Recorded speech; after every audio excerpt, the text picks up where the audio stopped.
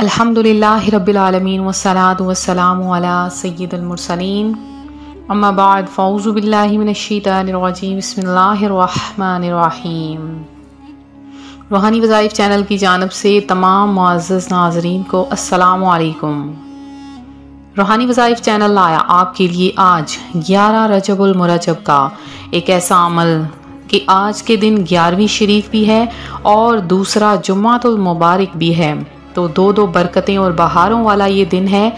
आज के दिन आपकी तकदीर का लिखा बदल सकता है। आपका नसीब बदल जाएगा।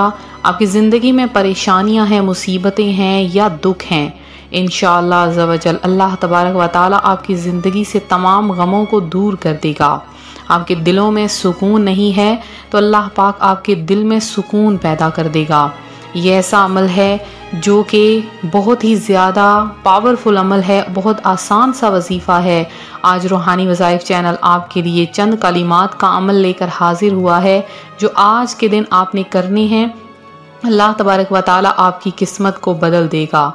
तो आज का वजीफ़ा मैं आपके साथ शेयर करूँगी। उससे पहले मैं अपने तमाम उनने आने वाले व्यूवर से गुजारिश करती हूँ, जो अभी अभी हमारे चैनल पर नए आए हैं, कि हमारा चैनल रूहानी वज़ाइफ को ज़रूर सब्सक्राइब कर लें। और साथ ये बेल आइकन का बटन भी प्रेस करें ताकि हर आने वाली नई वीडियो आप तक सबसे पहले और बसानी पहुँच सके। रूहानी वज़ाइफ के प्यारे नाजरीन, अक्सर लोग कहते हैं ग्यारहवीं शरीफ क्या है? तो ग्यारहवीं शरीफ हजूर गौस आज़म शेख अब्दुल जी लानी कुत्साह के नाम पर मुनद होने वाली तकरीब है, जिसमें आप के हवाले से अल्लाह रसूल सल्लल्लाहु अलैहि वसल्लम और वलायत औलिया का ज़िक्र किया जाता है, ताकि अल्लाह पाक आपकी मोहब्बत लोगों के दिलों में पैदा फरमाए और आप रहमतुल्लाह अलैह के इल्मी और अमली कारनामों से उम्मत आगाह हो। इससे एक तरफ़ अल्लाह ताला और रसूलुल्लाह सल्लल्लाहु अलैहि वसल्लम की मोहब्बत सीनों में पैदा होती है, औलिया अल्लाह से मोहब्बत पैदा होती है और अल्लाह वालों की सोहबत मुयसर आती है। तो दूसरी तरफ़ रूहानियत, फैज़ और जहनी आसूदगी भी मिलती है। अल्लाह ताला की मोहब्बत और उसकी इबादत की तरगीब मिलती है और अल्लाह वालों की इतबा अतात का जज्बा पैदा होता है। नजरानों की सूरत में खाने पीने की अशिया आती हैं जो हाजरीन, ज़ायरीन, भूखे मुसाफरों और बेआबे बसों के काम आती हैं। देने वालों को सवाब और खाने वालों को सैराबी मिलती है। इस सदका और ज़बानों और दिलों से निकली दुआ, तलावतों अजकार का सवाब तमाम लोगों को पहुँचता है। इस दिन खूब सदका व खैरात किया करें। जितना हो सके अल्लाह की राह में दिया करें और जितना ज़्यादा हो सके खाना बनवाया करें, खाना पकाया करें घर में और ज़रूर ख़त्म गौसिया शरीफ करवाया करें, ग्यारहवीं शरीफ का ख़त्म वगैरह दिलवाया करें कि इसकी बरकतें और बहारें बहुत ही ज़्यादा हैं। और कसरत के साथ दरूद गौसिया भी पढ़ा करें इन शवजल आप दरूद गौसिया पढ़ेंगे, अल्लाह पाक आपको बेशुमार बरकतों से नवाज़ देगा।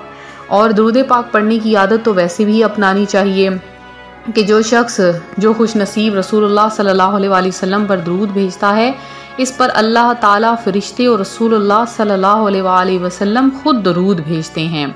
और दरूद शरीफ उस शख्स के लिए दुनिया और आखरत के तमाम अमूर में काफ़ी हो जाता है। अपने वज़ाइफ का अपने वज़ाइफ में ज़रूर दरूद पाक पढ़ा करें। इन शवजल दुनिया भी समर जाएगी, आखरत भी समर जाएगी। हजूर गौस आज़म के नाम की फ़ातिहा दिलवाया करें। फिर जुमातुल मुबारक का दिन है और माह रजब का प्यारा महीना है। अल्लाह तबारक व ताली इस माह रजब के सदक़े में, जो कि अल्लाह पाक का प्यारा महीना है, आपके रिज़क में बरकत अता फरमाएगा। आपकी किस्मत को गनी कर देगा, आपकी किस्मत को बदल देगा और अल्लाह पाक आपको वहाँ से रिज़क अता फरमाएगा, जहाँ से कभी आपने गुमान भी ना किया होगा।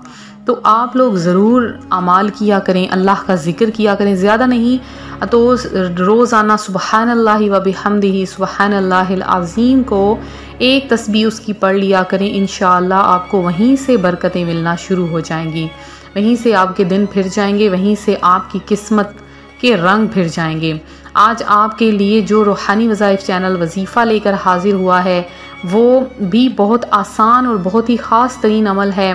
ग्यारह रजबुल मुरजब का दिन है, ग्यारहवीं शरीफ का भी दिन है और दूसरा जुम्मातुल मुबारक है। जो भी हाजत आपके दिल में है, वो अपने जहन में रख लें और वजीफ़ा करना शुरू करें इन शवजल जो भी हाजत आपके माइंड में है, जो भी हाजत आपके दिल में है, जिसको आप पूरा करवाना चाहते हैं, जो आप आपकी ख्वाहिश है, और आप चाहते हैं अल्लाह पाक उस ख्वाहिश को आप अगर अपनी ज़ुबान पे ना भी लाएँ तो अल्लाह पाक आपकी उस हाजत को पूरा कर दे और आपकी उस ख्वाहिश को कबूलियत का रंग दे दे तो आप ये अमल कीजिए इन शवजल आप देखेंगे अल्लाह पाक आप पर नज़र रहमत अता फरमा देगा तो आपने करना क्या है? किस तरीके से इस अमल को करना है? गौर से सुन लीजिए कि आज के दिन आपने दिन के किसी भी हिस्से में बावजू हो जाना है। मुकम्मल तौर पर बावजू हो जाइए और आपने एक मर्तबा सूरह जुम्मा की तलावत कर लेनी है। सिर्फ़ और सिर्फ़ एक मरतबा। कुरान पाक की सूरत सूरह जुम्मा इसकी आपने तलावत कर लेनी है और सूरह जुम्मा की तलावत करने के बाद तो आपने तीसरा कलिमा, यानी सुबहान वलहमदुलिल्लाहि वला इलाहा इल्लल्लाहु वल्लाहु अकबर, वला हौला वला कुव्वता इल्ला बिल्लाहिल अजीम। ये तीसरा कलीमा इस कदर मुबारक और बाबरकत है। अगर इसे जुमातुल मुबारक के दिन पढ़ लिया जाए, अल्लाह पाक से फिर जो मांगे, अल्लाह पाक उसे अता फरमा देता है। तो आज ये कलमात आपने 21 बार पढ़ने हैं। इस वजीफ़े के अव्वल और आखिर आपने दरूद पाक 11 11 बार ज़रूर पढ़ लेना है। एक मरतबा आपने सूरज जुमा पढ़नी है और 21 मरतबा तीसरा कलीमा पढ़ना है। पढ़ने के बाद आपने दुआ के लिए हाथ उठा देने हैं। जैसे ही आप दुआ के लिए हाथ उठाएँगे, अल्लाह पाक आपकी हर दुआ, हर हाजत को पूरा कर देगा। आपका नसीब बदल देगा, आपकी तमाम ख्वाहिशात को पूरा कर देगा। आप देखेंगे, अल्लाह पाक आपको वहाँ से रिज़क अता फरमाएगा।